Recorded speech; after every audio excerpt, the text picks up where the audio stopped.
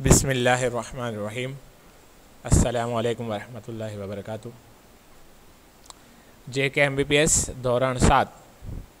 આજે આપણે નવું પાર્ટ ચાલુ કરી રહ્યા છે. કમ્પ્યુટર વિષયમાં પાર્ટ બે.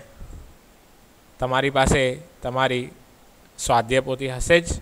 તમે એમાં પાના નંબર સત્તાવન ફિફ્ટી સેવન ખોલીને તમે જોઈ શકો છો. પાર્ટ બે કમ્પ્યુટરમાં એચટીએમએલનો પરિચય. એચટીએમએલનું પૂરો નામ છે હાઇપર ટેક્સ માર્કઅપ લેંગ્વેજ. એના વિશે આજે આપણે થોડી જાણકારી મેળવીશું. આ એચટીએમએલ જે છે એ તમને વેબસાઇટના જે પેજીસ છે એ બનાવવામાં ઉપયોગ થાય છે. તમે વેબસાઇટ બનાવતા, બનાવવા ઈચ્છો છો અથવા મોબાઈલની કોઈ એપ બનાવવા ઈચ્છો છો અથવા કોઈ બીજા પ્રકારનું તમે ઇન્ટરનેટ પેજ ઉપર તમે કંઈ બનાવવા ઈચ્છો છો, તો તમે એચટીએમએલનો ઉપયોગ કરીને એને ઉપયોગ કરીને તમે બનાવી શકો છો. એમાં તમારે ફોટાસ, ઇમેજીસ ઓડિયો, વીડિયો તમે તમારી વેબસાઇટમાં મૂકી શકો છો. ચાલો, આના વિશે આપણે જાણકારી મેળવીએ. પાર્ટ એક છે આજે. તો HTML hyper text markup language એ વેબ પેજની રચના માટે ઉપયોગમાં લેવાતી પ્રમાણભૂત સંકેતિત ભાષા છે. બરાબર? એટલે કે સંકેત આપે છે. આનો જે ઉપયોગ છે બહુ સરળ જ છે. આપણે જે નોટપેડમાં આને લખવાનું છે, બરાબર? નોટપેડ આપણા કમ્પ્યુટરમાં એક પ્રોગ્રામ છે. એમાં આપણે લખીને એને સેવ કરીને ફક્ત આપણા કમ્પ્યુટરના કોઈપણ બ્રાઉઝરમાં આપણે ખોલવાના છીએ. હવે એમાં શું શું આવે છે, એના વિશે આપણે જરા જાણકારી મેળવીએ.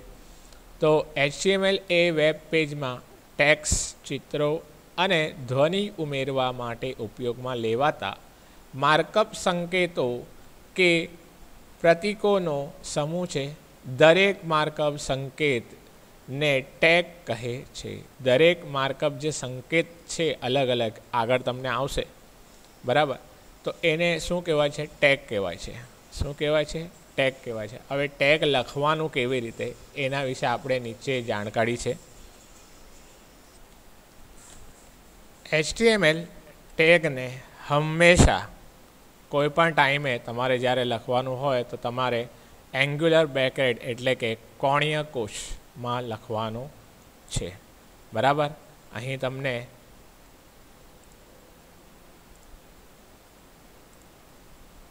અહીં તમને બતાવવામાં આવ્યા છે આ ઓપન કોણીય કોષ અને આ બંધ કોણીય કોષ આમાં તમારે પહેલાંથી લઈને છેલ્લા સુધી જેટલા પણ ટેક્સ છે, તે જેટલા પણ માર્કઅપ સંકેત કહેવાય અથવા ટેગ કહેવાય, એ તમારે આમાં જ લખવાના રહેશે.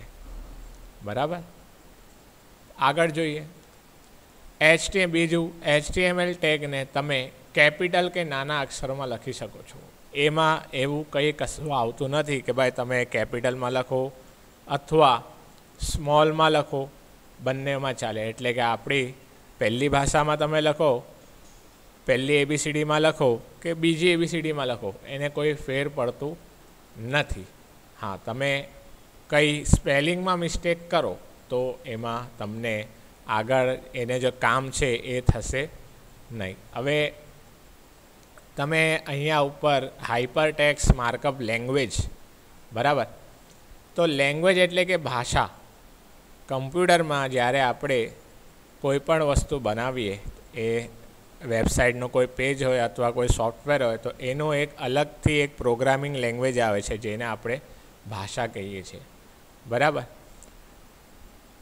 આગળ જોઈએ, તો ત્રીજું, એચટીએમએલ ટેગ સામાન્ય રીતે જોડીમાં લખાય છે, જેમાં પ્રથમ ટેગ એટલે કે start tag. Start tag normal રીતે જ લખવાનું. દાખલા તરીકે હું અહીંયા લખું છું. પહેલું એક ટેગ લખું છું, જેને કહેવાય છે એચટીએમએલ તો મેં angular bracket H T M L આ સામાન્ય રીતે લખવાનું છે.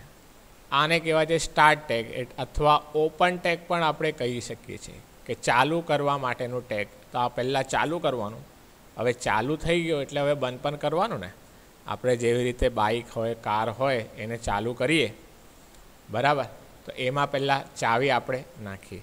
તો ચાવી એટલે કે આ આપણે એમ સમજીએ કે ભાઈ આ જે છે, આ જે એંગ્યુલર બ્રેકેટ્સ એ બ્રેકેટ્સ છે, કોણિયકો છે આપણી ચાવી છે.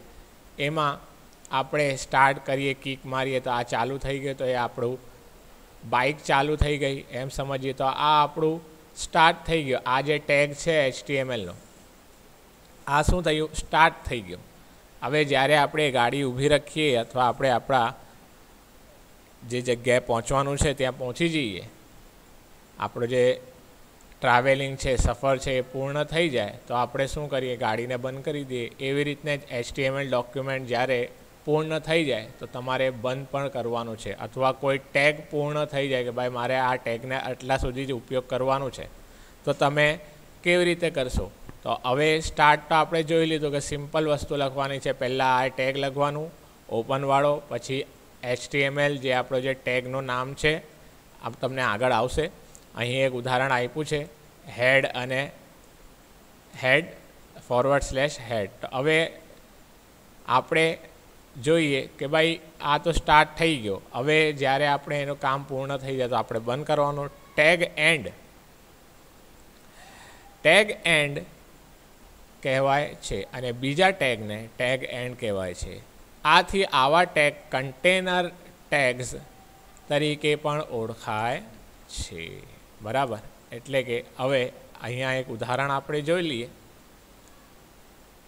ઉદાહરણ તરીકે હેડ અને ફોરવર્ડ સ્લેશ હેડ આ એન્ડ જે છે ને, એ તો આપણને ખાલી સમજાવવા માટે બતાવ્યું છે. વચ્ચે એન્ડ લખવાની જરૂર નથી. આ સ્ટાર્ટ મેં તમને કીધું ને, આ સ્ટાર્ટ એટલે કે શરૂ અને આ બંધ કરવા માટે. બરાબર? આ આપણો એક ટેગ કેવી રીતે લખવાનો એ આપણને સમજણ પડી ગઈ. હવે અહીંયા આપણે એચટીએમએલનું જે ઉદાહરણ લીધેલું તો હવે એચટીએમએલને હું સ્ટાર્ટ તો કરી દીધું આવી રીતે. હવે હું બંધ કરું છું અહીંયા. તો મારે ફરી એક એંગ્યુલર બ્રેકેટ કરવાનું. ઓપન એંગ્યુલર બ્રેકેટ્સ પછી અહીં ફોરવર્ડ સ્લેશ આપવાનું. કોઈ પણ જગ્યા છોડવાની નથી.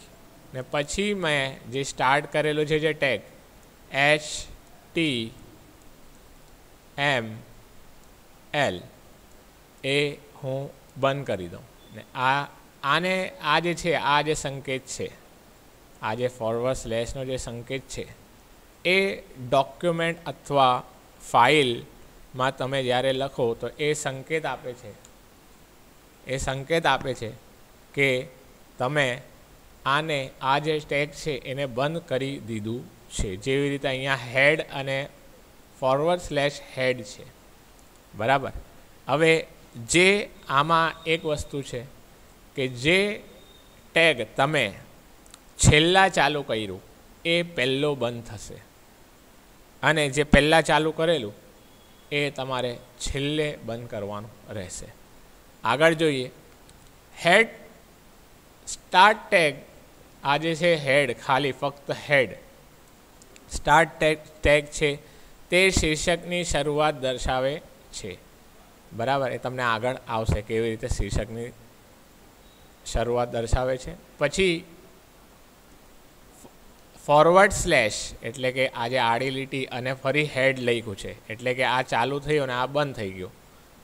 એન્ડ ટેગ છે, તે શીર્ષકનો અંત દર્શાવે છે. એન્ડ ટેગ હંમેશા ફોરવર્ડ સ્લેશ દર્શાવે છે. જેવી રીતે મેં તમને કીધું ફોરવર્ડ સ્લેશ ફરી બતાવી દઉં. આને કહેવાય છે ફોરવર્ડ સ્લેશ આ જે આડી લીટી છે, એને કહેવાય છે ફોરવર્ડ સ્લેશ બરાબર? આજે આપણે આ એચટીએમએલનું થોડું પરિચય જોયું. હવે બીજા તમારા વિડીયોમાં, બીજા પીરિયડમાં હું તમને એચટીએમએલ ડોક્યુમેન્ટની રચના કેવી રીતે કરવાની એ બતાવીશ અને એનું પ્રેક્ટિકલ પણ બતાવીશ જે આપણે કમ્પ્યુટરમાં કરવાનું કરીને તમને બતાવીશ. Thank you